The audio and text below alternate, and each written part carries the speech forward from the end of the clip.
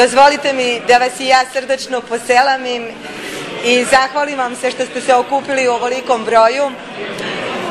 Znate da su prošle godine održani lokalni izbori i da je naš narod nama zamerao jedno.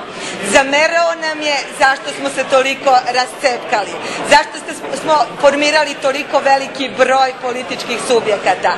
Ta je zamerka opravdana, ali mi u koaliciji Vakat jesmo i tada i sada predstavljali jedinstvo naše zajednice.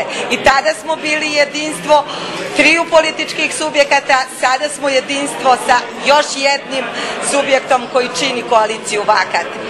Ako u nama prepoznate to jedinstvo, a mi to jedinstvo činimo, ako u nama prepoznate mladost, omladinu, podmlađivanje naših redova, onda zaista treba da date glas koaliciji Vakat koja je pružila šansu mladim ljudima da se dokažu da mogu na pravi i adekvatni način da predstavljaju zajednicu.